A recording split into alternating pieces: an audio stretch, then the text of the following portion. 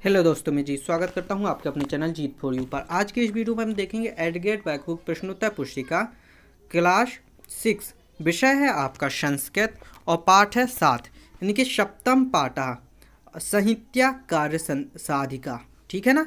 ये अपना पाठ का नाम हो गया। आगे चलेंगे अपन। यहाँ से देखिए अपने क्वेश्चन और आंसर स्टार्ट होते हैं। पहला है निर्देश। एक पदेन उत्तर लिखत। तो एक पद में आपको यहाँ पर उत्तर लिखना है। पहला प्रश्न स्टार्ट होता है। केन एकता बोधा भवती। एक केन एकता बोधा, यानी कि एक बोध क्या होता है? तो शरीरेण।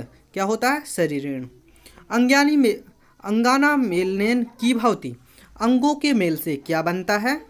तो देखिए, अंगों से, अंगों के मेल से शरीर का निर्माण होता है। तो अपन लिखेंगे शरीर से निर्माणाम। अगला क्वेश्चन है केशा मेलनिम रज्जु निर्माण भवती? आगे देखेंगे अपन, तृणानाम। ऐसी ही अगला क्वेश्चन है, कि पुस्तकानी भवती? पुस्तक का निर्माण कैसे होते हैं? मुद्रित पात्र, यानी कि छपे हुए पेजों से पुस्तक का निर्माण होता है। अगला है निर्देश अपना एक वाक्य में उत्तर लिखित। अब आपको एक वाक्य में उत्तर देने हैं। प्रश्न है अपना, कया गृह निर्माण भवती? यानी कि घर का निर्माण कैसे होता है? इसका आंसर देंगे अपन। एक या एक या इष्टिकाय, गृह निर्माण भवती। एक एक ईंट से ग्रह का निर्माण, यानी कि घर का निर्माण होता है। आगे अगला क्वेश्चन है, कभी मुष्टि भावती तो देखिए पंचा भी अंगुली भी मुष्टि भावती रज्जुना का बद्धते?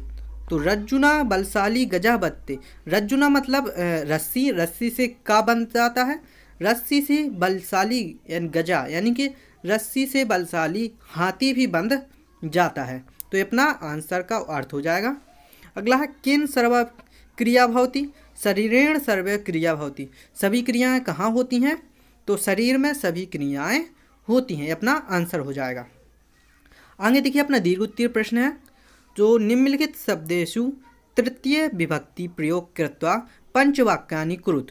तो देखिए, निम्नलिखित शब्दों के तृतीय विभक्ति का प्रयोग करके आपको पाँच वाक्य बनाने हैं। जैसे कि यहाँ पर एक दिया गया है, शरीरेण एक बोध भावती। शरीर एक बोध भावती, यानी कि एक निर्माण है। तो ऐसे ही अपन लिखेंगे, अंगाना सहयोगेन, जो अंगों के सहयोग से शरीरेण सर्वा क्रिया भावती। तो अंगों के सहयोग से शरीर में सभी क्रियाएँ होती हैं। अपना आंसर हो जाएगा। अगला जिब्य स्वाद नाम। जीव, यानी कि जीव से स्वाद प्राप्त होता है अपन को। हस्ताम्य कार्यक्रम। तो देखिए जो हाथ होता है, इससे अपन सभी कार्य करते हैं। अगला है, रज्जुना बलशाली गजा अपिवद्धते तो ये अपन ने अभी देखा था कि जो रस्सी है, वह बलशाली हाथी को भी बाँध लेती है। ठीक है ना? अगला है एक या एक इष्ट क्या ग्रह निर्माण भावती। तो एक एक ईंट से घर का निर्माण होता है। आगे देखेंगे, अगला पाठ है। पाठ है आगत्य तृतीय विभक्ति पंच शब्दानी लिखित। तो पाठ में आए हुए तृतीय विभक्ति के पाँच दशा, यानी कि पंद्रह है, पंचदशा मतलब पंद्रह शब्द लिखना है आपको।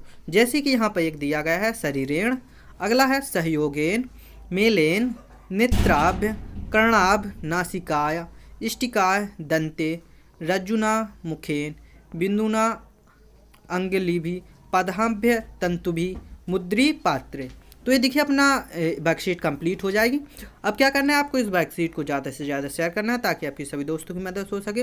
वीडियो को लाइक एंड चैनल को सब्सक्राइब करना मत भूलना। मिलते हैं अगली वीडियो में। तब तक के लिए धन्यवाद।